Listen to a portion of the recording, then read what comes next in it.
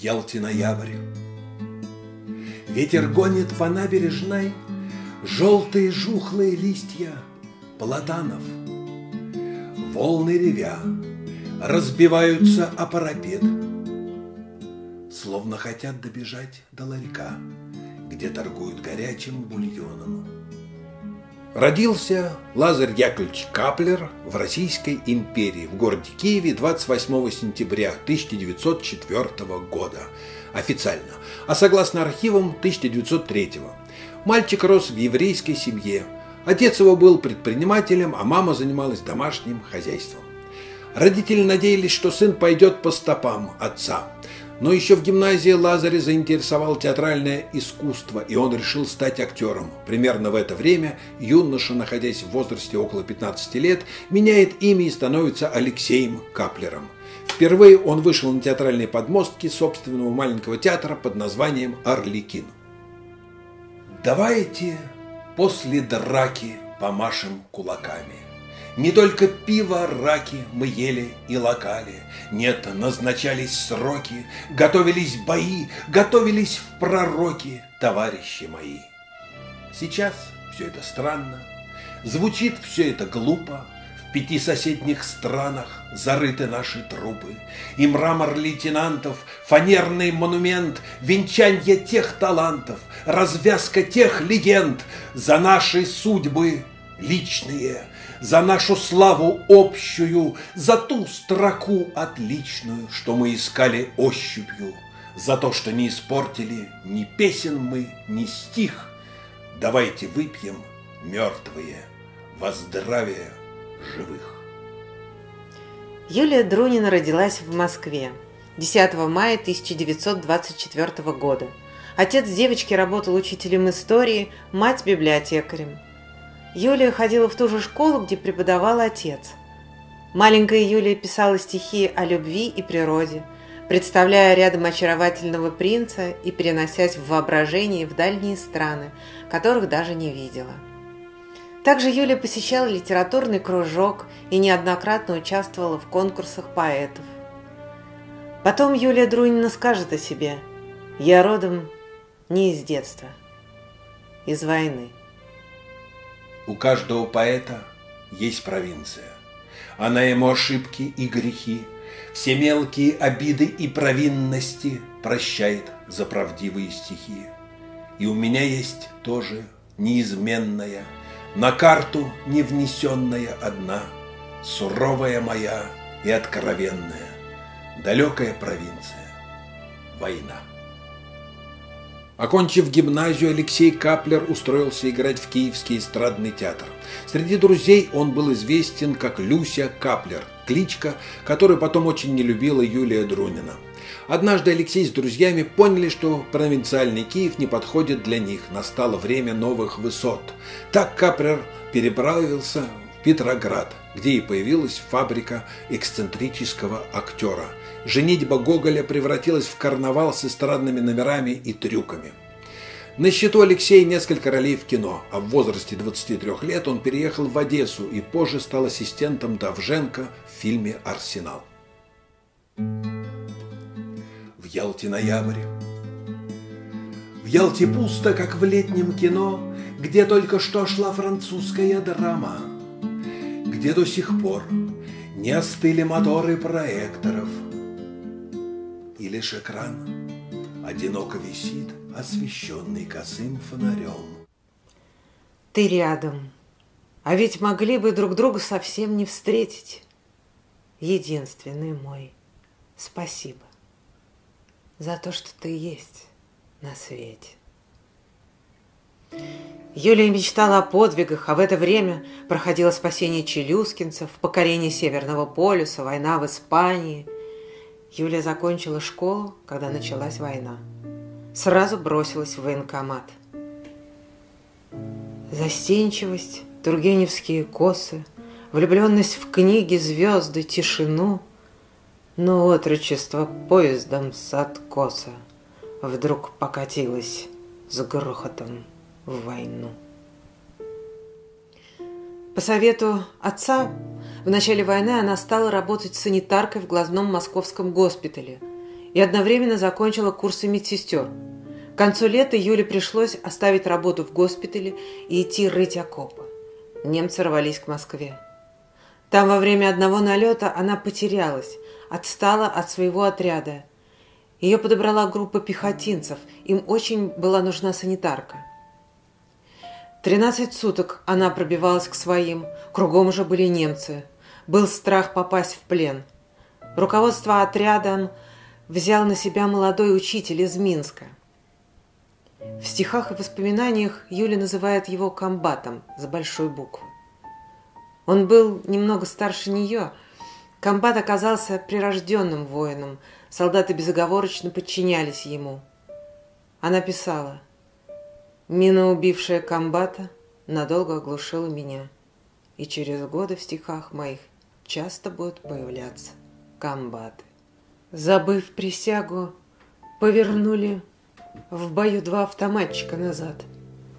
Догнали их две маленькие пули. Всегда стрелял без промах комбат. Упали парни, ткнувшись в землю грудью, а он, шатаясь, побежал вперед. За этих двух его лишь тот осудит, кто никогда не шел на пулемет. Потом в землянке полкового штаба, бумаги молча взяв у старшины, писал комбат двум бедным русским бабам, что смертью храбрых пали их сыны. И сотни раз письмо читала людям в глухой деревне плачущая мать. За эту ложь комбата кто осудит? Никто его не смеет осуждать. Каплер выиграл конкурс на лучший сценарий к фильму под рабочим названием «Ленин в октябре». Картина Сталину понравилась. Это неудивительно, ведь он там ближайший товарищ и соратник Ильича, с которым тот обсуждает каждый свой шаг. Дворец! Надо брать дворец! С 1939 года Каплер преподавал в Авгике а в годы войны работал военным корреспондентом. В конце октября 1942 года был задуман фильм о летчиках. Его военным консультантом стал Василий Сталин, а в ноябре состоялось знакомство Алексея Каплера и Светланы Аллилуевой. Она вспоминала о тех днях так. Вскоре начались ноябрьские праздники. Приехало много народа. Константин Симонов был с Валей Серовой. Роман Кармен с женой известной московской красавицей Ниной. Летчики, уже не помню кто еще. После шумного застолья начались танцы. Люся, так звали друзья сорокалетнего Алексея Каплера. Спросил меня неуверенно, вы танцуете фокстрот? Мне сшили тогда мое первое хорошее платье у хорошей портнихи. Я чувствовала какое-то необычайное доверие к этому толстому, дружелюбному человеку. Мне стало так хорошо, так тепло и спокойно рядом с ним, и мне захотелось вдруг положить голову к нему на грудь и закрыть глаза. Школьница Светлана увлеклась сорокалетним сценаристом. Они начали встречаться, переписываться. Каплер водил Светлану на культурные мероприятия, показывал шедевры мирового кинематографа. Встречи проходили целомудренно, но Сталину все же донесли, и Каплер отправился в окруженный Сталинград и писал оттуда репортажи, в текстах которых проглядывались прямые намеки на роман со Светланой. Тогда Алексею позвонили и настойчиво порекомендовали отправиться на фронт, но он, ослепленный любовью ответила резким отказом. Юлия снова оказалась в Москве. Отец-директор школы должен был уехать вместе со своим коллективом и учениками в Сибирь. Во время бомбежки ночью вернулся отец и сказал, что он останется с ней. И Юля сдалась. На следующий день они уехали вместе. У отца было больное сердце. Они поехали в эвакуацию, чтобы спасти отца. Он умер в начале 1943 года. После его похорон Юлия уехала в Хабаровск. Там она поступила в школу младших авиаспециалистов – ШМАС. Ей было присвоено звание ефрейтора, но пригодилось свидетельство об окончании курсов медсестер. Людей этой специальности тогда не хватало на войне. Юля получает направление в санитарное управление Второго Белорусского фронта. Смотрю назад, в продымленные дали.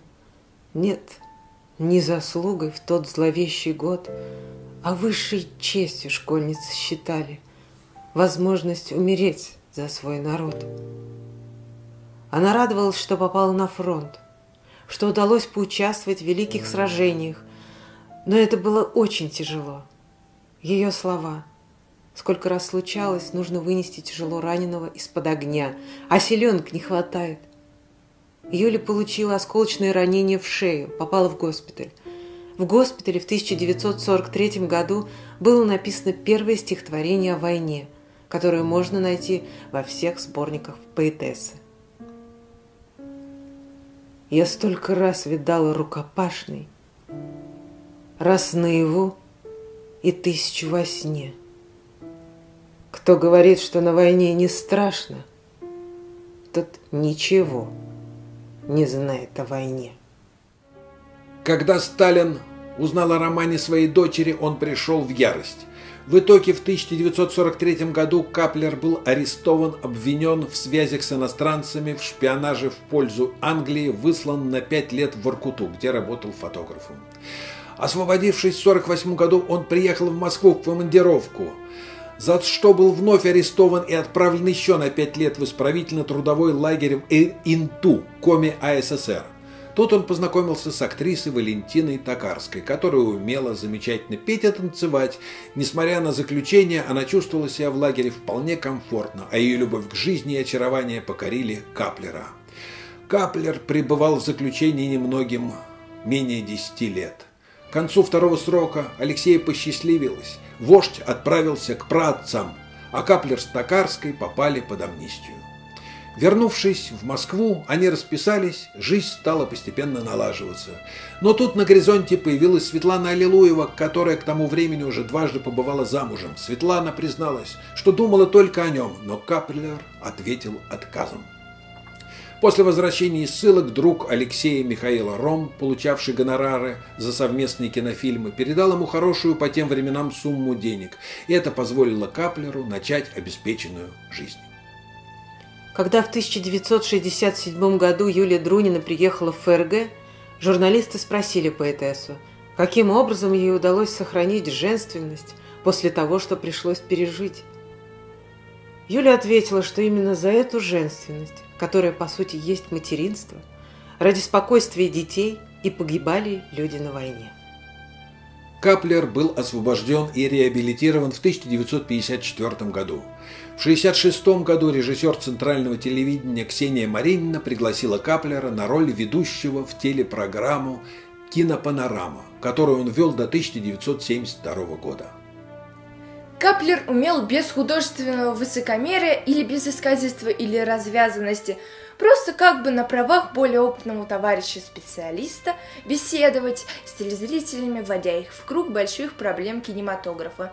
Умел познакомить с новым режиссером или актером, к месту привести пример из истории кино, которую прекрасно знал, ибо жил в ней. Нам казалось, по нашим убеждениям тогдашним, что нужно разрушать, начинать разрушение буржуазного искусства э, средствами народного искусства. И таковым мы посчитали прежде всего театр Петрушки. Балаганный такой театр Петрушки, с которым можно выходить на улицу прямо. Я хочу э, представить вам актрису, которая знает весь мир и знает весь наш Советский Союз по ее замечательным фильмам, по ее прекрасным ролям.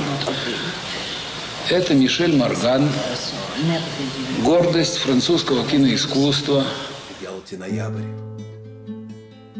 Где-то в далеких норвежских горах, возле избы, где живут пожилые крестьяне, этот циклон родился и пройдя пол Европы, он обессиленный, все ж холодит ваши щеки. Именно поэтому он так нравился телезрителям и пользовался их огромным доверием. Но он позволял себе много лишнего с точки зрения начальства. Яркость личности меньше всего нужна была в то время начальникам. А так как передача уже не шла прямо в эфир, а записывалась заранее, начальство удаляло из нее самые живые и острые куски. Да и много происходило такого, что Каплер считал просто преступлением. Каплер вручил руководству ТВ в 1972 году письмо. Заканчивалось оно так. «Относиться безразлично ко всему тому, о чем я написал, да еще к тому, о чем я не написал, я не умею. А продолжать в том же духе отказываюсь. Вот и давайте расстанемся. После последней передачи 24 августа я считаю себя свободным. Так с начальством тогда еще никто не разговаривал. Одни верны России потому-то, другие же верны ей от того-то, а он не думал, как и почему, она его паденная работа, она его хорошая минута, она была отечеством ему. Его кормили, но кормили плохо. Его хвалили, но хвалили тихо. Ему давали славу, но едва. Но с первого мальчишеского вздоха до смертного обдуманного крика поэт искал не славу, а слова. Слова, слова, он знал одну награду, чтобы словами своего народа великое и новое назвать. Есть кони для войны и для парада. В литературе тоже есть породы.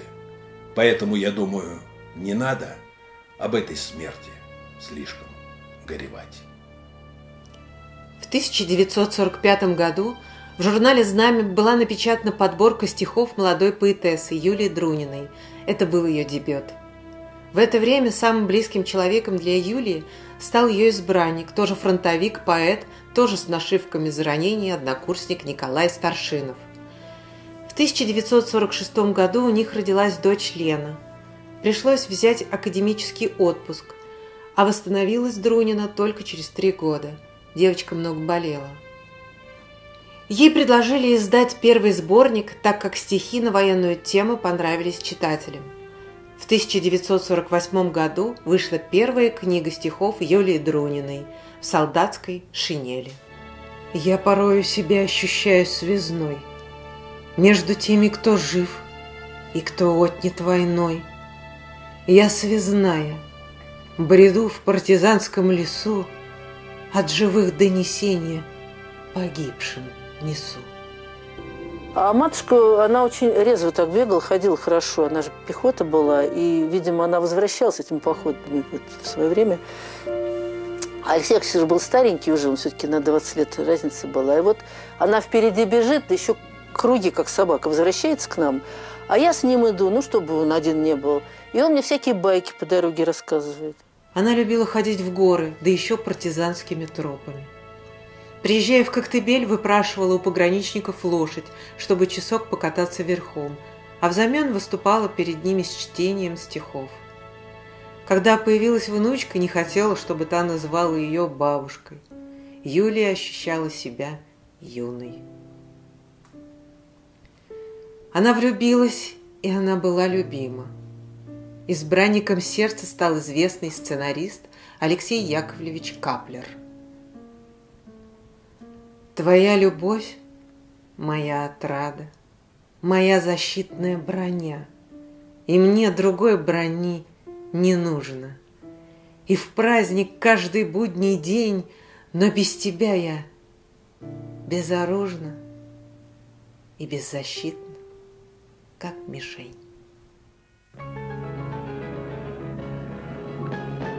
Попрощаться с телезрителями кинопанорамы Алексею Яковлевичу не дали.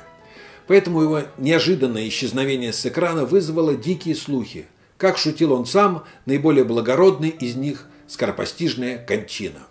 Как писала Юлия Друнина, не сохранилось ни одной каплеровской кинопанорамы, а ведь его собеседниками были Шукшин, Кармен, Вивьен Ли, Шкловский, Лешенуа, Козинцев, генерал Родимцев.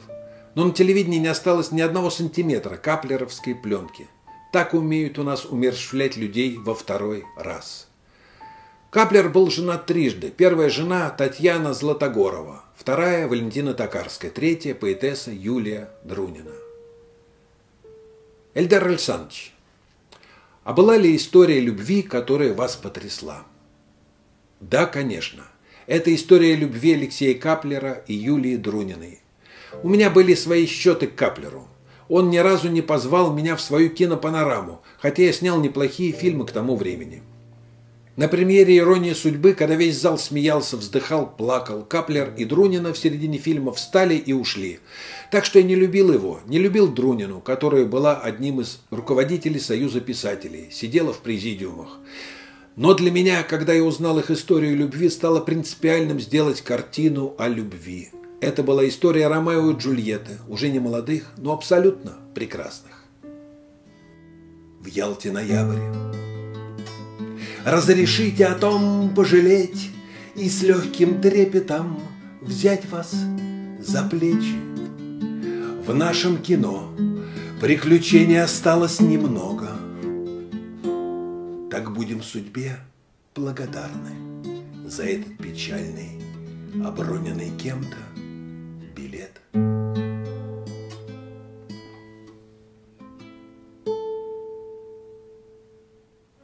По странной мистической случайности последними словами Алексея Каплера в его последней книге были такие. «Итак, дорогой мой читатель, настало время расстаться. Признаюсь, мне этого совсем не хочется, но что делать? Во всякой книге, как и в самой жизни, есть не только начало, но и конец». Кто-то боялся Каплера и мертвым. Лишь в газете «Вечерняя Москва» появилось извещение о его смерти, да и то время гражданской панихиды было указано там неверно. Алексей Яковлевич Каплер умер в сентябре 1979 года. Похоронили его согласно его же просьбе на кладбище в городе Старый Крым. Юлия Владимировна уже тогда сказала, что хотела бы быть похоронена в одной могиле с ним. Почти все стихи этого периода полны тоски о нем. Как мы чисто, как весело жили с тобой. Ничего не могли друг от друга таить. Юлия Владимировна начала завидовать тем, кто погиб с верой в свою правоту и с надеждой на победу, тем, кто до победы не дожил. Как я завидую тому, кто сгинул на войне. Она закончила сборник, он назывался «Судный час», эта книга была оставлена на письменном столе, уходившей из жизни Юлии Дрониной. 20 ноября поэтесса написала письма дочери, зятю, внучке, подруге Виолетте и в Союз писателей, в милицию. Ни в чем никого не винила. На входной двери дачи в гараже, которым она отравилась выхлопными газами автомобиля, предварительно приняв снотворное, оставила записку для зятя – Андрюш, не пугайся. Вызови милицию и вскройте гараж. Ее главное желание быть похороненной в одной могиле с Алексеем Каплером исполнилось. Крымские астрономы Юлия и Николай Черных назвали одну из далеких планет галактики именем Юлии Друниной, и это стало ей лучшим памятником. Покрывается сердце инием – очень холодно в судный час. А у вас глаза, как у инока, я таких не встречала глаз. Ухожу, нету сил, лишь издали. Все ж крещенное, помолюсь за таких вот, как вы, за избранных, удержать над обрывом Русь. Но боюсь, что и вы бессильны, потому выбираю смерть. Как летит под откос Россия, не могу, не хочу смотреть. Почему ухожу? По-моему, оставаться в этом ужасном, передравшемся, созданном для дельцов с железными локтями мире – Такому несовершенному существу, как я, можно только имея крепкий личный тыл. Оно и лучше уйти физически неразрушенный, душевно не состарившийся по своей воле. Правда, мучает мысль о грехе самоубийства, хотя я, увы, неверующая. Но если Бог есть, Он меня поймет.